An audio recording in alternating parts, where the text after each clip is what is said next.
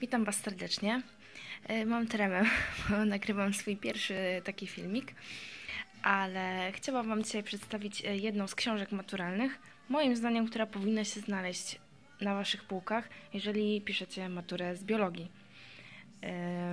Na pierwszy ogień s- postaram się robić więcej takich filmików z tych książek, które obecnie ja sama posiadam i pokazywać Wam, co jest w środku, czy warto kupić, e, no i ogólnie, czy, czy warto kupić, to sami ocenicie, e, bo każdy ma, jest na innym poziomie wiedzy. Natomiast e, no, postaram Wam się zrecenzować albo pokazać mniej więcej, co jest w środku, jak wygląda konstrukcja zadania, odpowiedzi, mm, abyście mogli sami ocenić, czy ta książka powinna się znaleźć u Was. Moim zdaniem to jest jedna z tych książek, którą każdy powinien mieć. No ale decyzja należy do Was. Mm, Jeżeli chodzi tutaj o ten podręcznik, jest to oczywiście znana wszystkim, no mam nadzieję, że wszystkim Omega. Yy, To jest edycja akurat najnowsza, czyli 2017. Jest to zbiór zadań maturalnych z biologii, napisanych przez dwie panie, Jadwigę Filipską i Małgorzatę Jagiełło. Podkreślam, że to są chyba też autorki, m, które brały udział w pisaniu zadań e, do zbioru CKE. Także moim zdaniem, no, warte uwagi, tak? E, Natomiast ten zbiór nie zawiera zadań autorskich, tak? To są tylko i wyłącznie zadania, które znalazły się na maturach, maturach próbnych mm, i tych maturach ostatecznych, czyli majowych.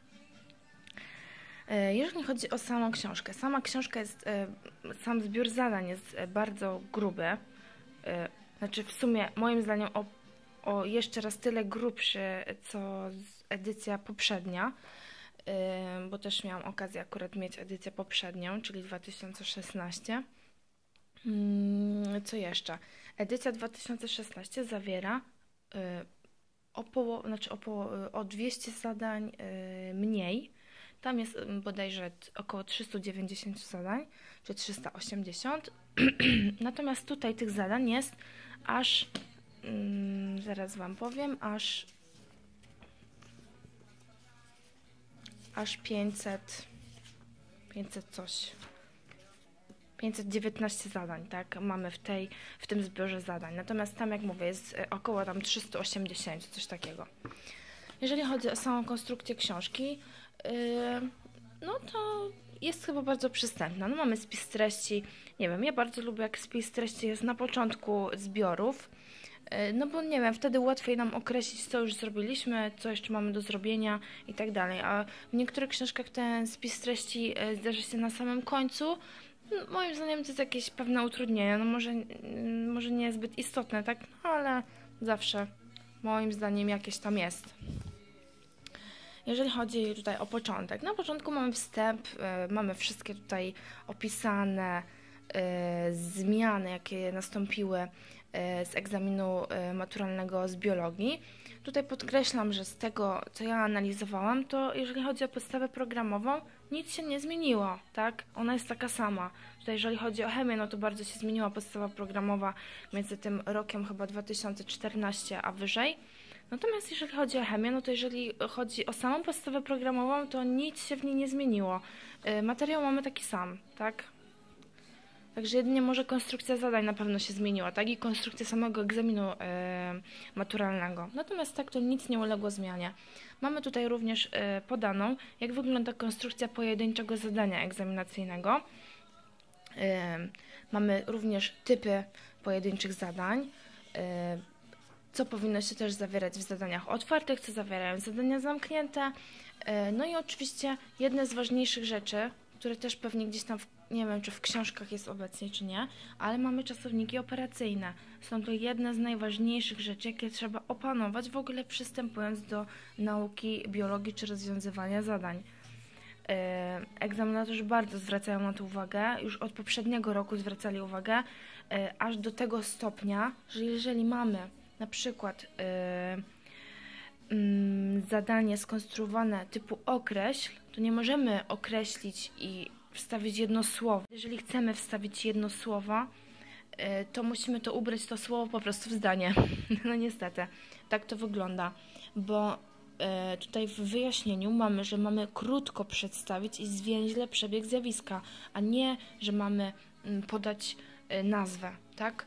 albo podać słowo, nie wiem, napisać jedno słowo. Ma być to krótkie zdanie, krótki przebieg zjawiska, więc naprawdę zwróćcie na to uwagę, bo jest to bardzo istotne, tak? A często na tym uczniowie tracą punkty i bez sensu, no bo każdy to ma wyłożone tak naprawdę w każdej książce i nikt z tego nie korzysta. Więc no, to jest dość istotne. Jeżeli chodzi o same zadania, no to zadania mamy tak pogrupowane w działy, jak tam na początku w spisu treści. Mm, co jest minusem? Minusem jest to, że mamy tutaj y, po prostu tylko mm,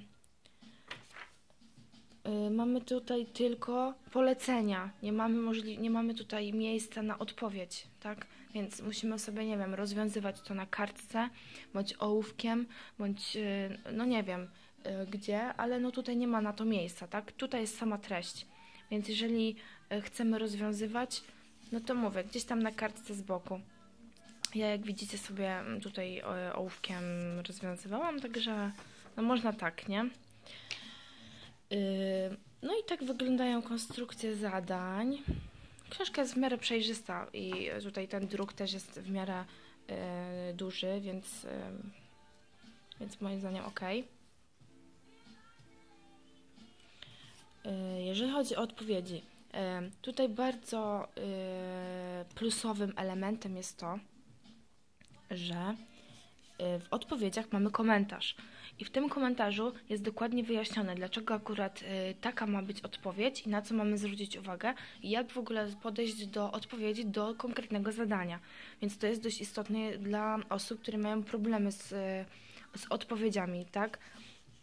Mamy wszystko wytłumaczone, co, jak i dlaczego. Mamy również y, nawet zasady konstruowania diagramów E, co moim zdaniem też jest jedną z podstawowych rzeczy, które trzeba opanować, tak, rysowanie wykresów, bo są to proste, e, są to po prostu łatwe punkty, tak, bo zazwyczaj wykres jest za trzy punkty i są to najłatwiejsze punkty, jakie można zdobyć, bo tak naprawdę nie wymagają od nas wiedzy, tylko wymagają od nas umiejętności konstruowania wykresu, które trzeba też nabyć do matury z matematyki, więc to chyba nie jest aż takie trudne.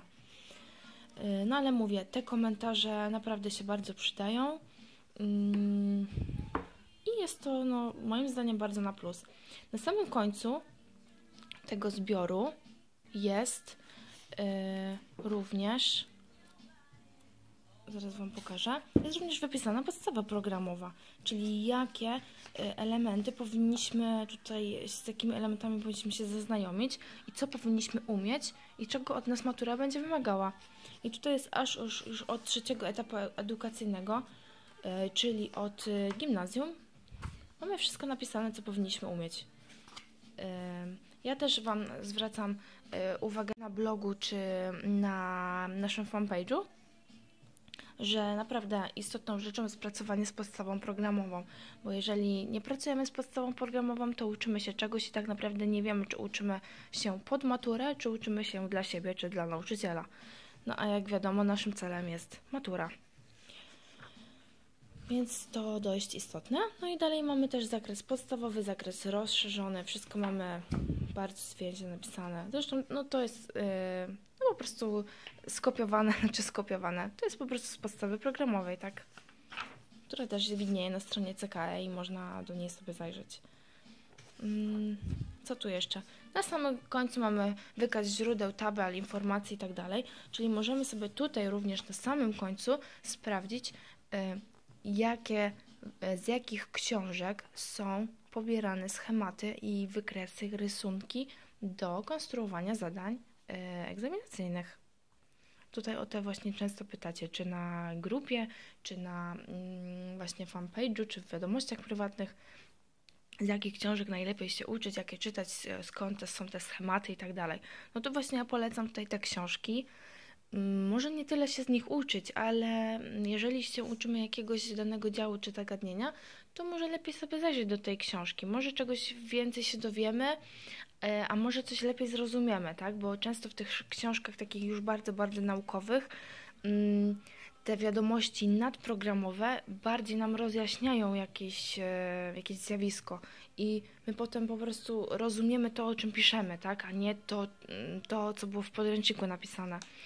E, poza tym możemy też skonfrontować tą wiedzę, która była w podręczniku z tym, co jest w tych w tych źródłach akademickich czy, czy, czy, czy, czy, czy ponadprogramowych, tak? Bo często też się zdarzają błędy, więc e, tutaj możemy to sobie skonfrontować, czy rzeczywiście tam też tak jest.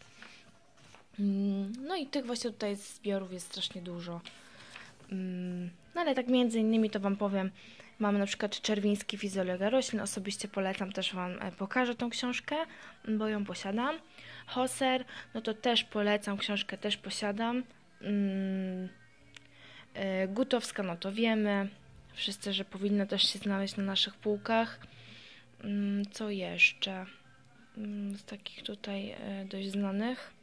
A, Wiedza i Życie. Też Wam mówiłam o tych czasopismach, że kupować sobie te czasopisma, tak? One wychodzą chyba raz w miesiącu, czy raz na dwa miesiące, ale naprawdę, no, warte przeczytania. Może Wam pokażę też yy, ostatni numer tego, tej Wiedzy i Życie. E, no, są tam procesy opisane akurat o termoregulacji. Wstępnie, tak? E, na nasz poziom, o tak powiem, że zrozumiemy. Tak, o tym też mówiłam. Tutaj podręcznik e, z biologii podbielkowskich. Jest to stary podręcznik, stary, no nie wiem, naszych rodziców czy tam naszych dziadków, ale no bardzo przystępnie opisane. E, co jeszcze? Tu już mi e, telefon pokazuje, że brakuje mi pamięci, więc zaraz kończę.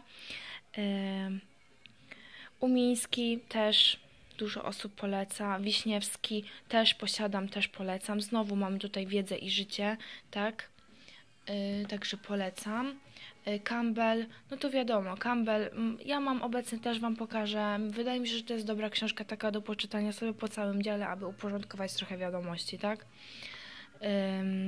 No i tutaj mamy jakieś strony internetowe. Co do jeszcze do tej wiedzy życia.